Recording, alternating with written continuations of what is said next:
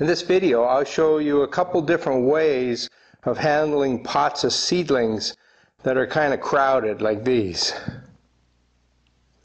So the first question I ask myself is how many of these do I want?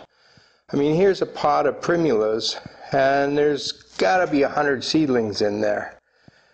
How many of those do I really want? Most gardeners would be happy with three or four. And in fact, when I'm growing a new variety of plant, four is enough for me. Out of those four, one might die in the process over the next couple years, and the other three will go into my garden, and that's lots for me. If you're running a nursery, you might need more plants. So these two here, there's some new species. A new potentilla, a dwarf potentilla, and a campanula, and I only want a couple of these, maybe a few extras for friends, but that's all. I want a small number of these. On the other hand, this is a primula, and I'd like to have as many of these as I can. I mean, two dozen plants is, would be lots, but I want to plant these out in my woods, and the more I have, the more places I can fill. It's quite a big space. So in this case, I'd want more plants out of here. This plant over here is uh, clematis seedlings. And although there's lots of plant material here, there are not that many seedlings. There's maybe six seedlings in here. But a lot of top growth that's getting very congested, and I'll show you how to deal with that too. Now, if you want to keep a lot of your seedlings, the best way is, is to dump this out and take each one of these and pot them up in a separate pot.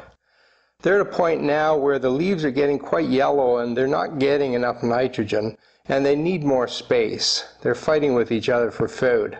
You can prick them out, so you can simply take uh, some sort of little device and just pull them out. And then plant each one up separately. But I find the easiest thing is to just dump the whole pot out on a table, separate it out, and then start planting. So you know how to do that. I'm not going to show you that. Another option is to come along and just simply pull out the ones you don't want. And if it's really congested, you, you can't do this one at a time. So I come along and I'll just pull a bunch.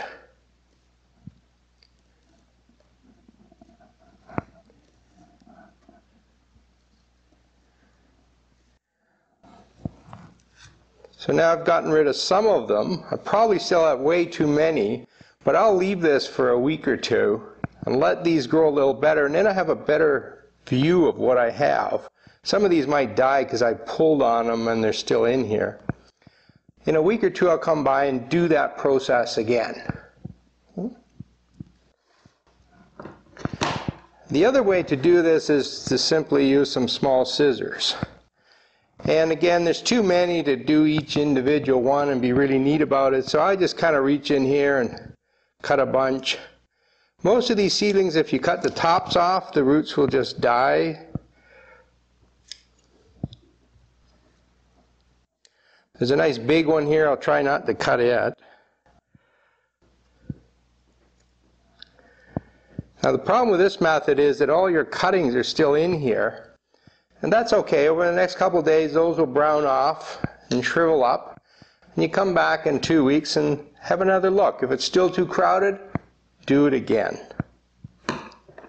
So that's how I handle my seedlings. Now this is a bit different in that I don't have too many seedlings. I'll probably keep all of these. This is a clematis called Sweet Summer Love which is an autumn clematis, but it has a red color on it. And I want to see what kind of variation in colors I'll get. So I'll, I'd like to plant as many of these as I can. And then once I get the first flowering, I'll decide which one has the best color of flower or the best size of flower, and I'll keep one or two for the garden, and the others I'll give to friends. But this becoming a real tangled mess.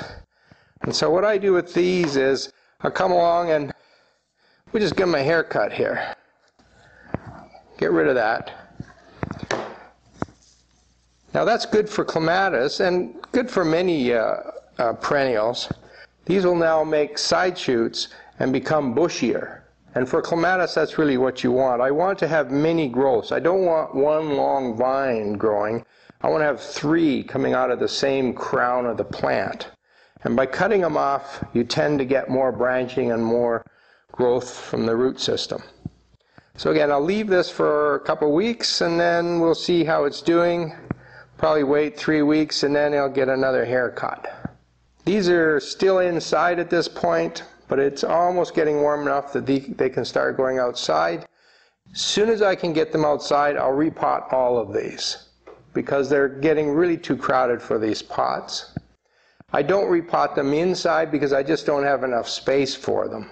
If you're interested in growing things from seeds, I have lots of other videos. My most popular one is probably the one about growing seeds in baggies, but I also show you how to soak seeds and how to scarify them and at the end of this video, I'll put in a link to a whole bunch of my seed starting videos. Thank you very much for watching.